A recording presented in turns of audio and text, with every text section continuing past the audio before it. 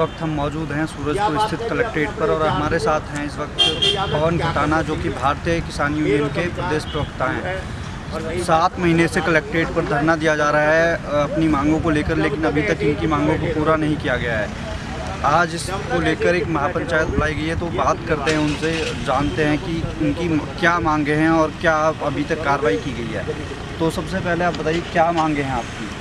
हमारी मांग है नोएडा, ग्रेटर नोएडा और यमुना विकास प्राधिकरण। तीन प्राधिकरण हैं हमारे गौतम बुद्ध नगर क्षेत्र में। और तीनों प्राधिकरणों पर किसानों का चौंसठ पॉइंट सात प्रतिशत मुआवजा, दस प्रतिशत आवासीय प्लॉट, आज तक भी किसानों को नहीं दिया गया। है शासन और प्रशासन ने पाँच साल पहले ये घोषणा कर दी है कि सभी किसानों को दिया जाना चाहिए। अब प्राधिकरणों की गलत नीतियों के कारण और प्रशासन के गलत रवैये के कारण किसी किसान से ये कहा जाता है कि आपको कोर्ट जाना पड़ेगा, कोर्ट से जजमेंट लेना पड़ेगा, जबकि एक भाई को मिल जाता है और दूसरे को नहीं मिलता। इस चीज़ को लेकर के हम यहाँ पर बैठे हुए हैं। पारदर्शिता के साथ में हम यहाँ भ्रष्टाचार नहीं होने देंगे और सभी किसानों को एक मुश्त चौंसठ पॉइंट सात प्रतिशत मुआवजा और दस प्रतिशत प्लॉट दिलाया जाना चाहिए। तीसरा, हमारे गाँव यहाँ पर गौतम बुद्ध नगर में पंचायत राज व्यवस्था ख़त्म कर दी गई है। और यहाँ के जो गाँव को मलिन बस्तियों में तब्दील कर दिया गया है।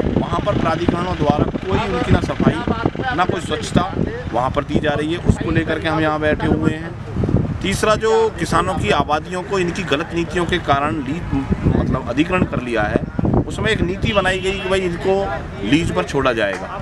वो भी आज तक बैक लीज नहीं कराई गई है। इनकी तो उस चीज़ को लेकर के हम यहाँ बैठे हुए हैं। पिछले सात महीने हमने क्रॉस करते हुए 21 मई 2018 से हम यहाँ बैठे हैं। और आज आठवां महीना हमारा यहाँ पर चल रहा है। लेकिन प्राधिकरण के गलत रवैये को देखते हुए यहाँ पर कुछ होने की स्थिति नहीं लग रही है। तो आज हमने फिर से एक पंचायत का आयोजन किया है कि आप या तो हमारा जो भी कार्य है उसको संपूर्ण कराएँ अन्यथा यहाँ पर पंचायत एक बड़ा निर्णय लेगी जो आर पार का निर्णय भारतीय किसान यूनियन। जय जवान। जय किसान।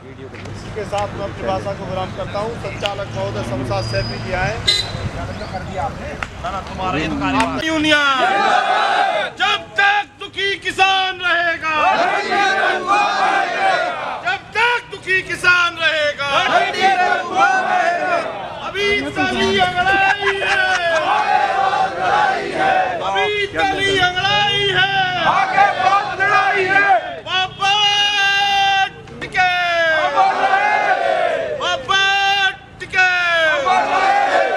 चौधरी राकेश टिके चौधरी नरेश टिके जय जवान जय किसान जय जवान ये माइक से लेकिन आज तक इस धरने पर किसान यूनियन के पदाधिकारियों की या इस क्षेत्र के किसानों की बात सुनने के लिए कोई भी अधिकारी हमारे बीच में नहीं आ रहा। अभी परसों सोमवार को जब कोई नहीं आया, काफ़ी बताने के बावजूद एलआई को सूचित किया कि भाई हम, हमारी बात सुनने के लिए कौन सक्षम अधिकारी कोई आए। लेकिन जब कोई नहीं आया तो यहाँ से हमारे किसान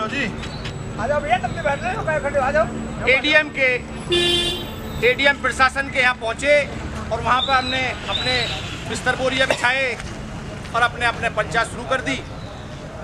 इसी बीच में एडीएम साहब बाहर निकल कर के आए। उन्होंने तीन वादे तीन वादे ऐसे आनन फानन में किए कि जो आपके सामने एक तो उन्होंने अलाप का किया था कि भाई अलाप तुरंत लगे। भैया देख लो यहाँ कोई अलाप के लिए कोई लकड़ी कंडा उपला कहीं पड़े हो तो देख लो। कोई आया हो तो बता दो।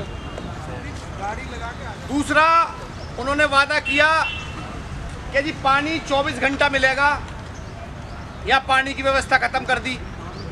तीसरा बिजली का उन्होंने तुरंत ऐसे समझो जैसे अभी तत्काल प्रभाव से इनके इनकी सब बात मानने हैं और सब काम आज ही हो जाएँगे।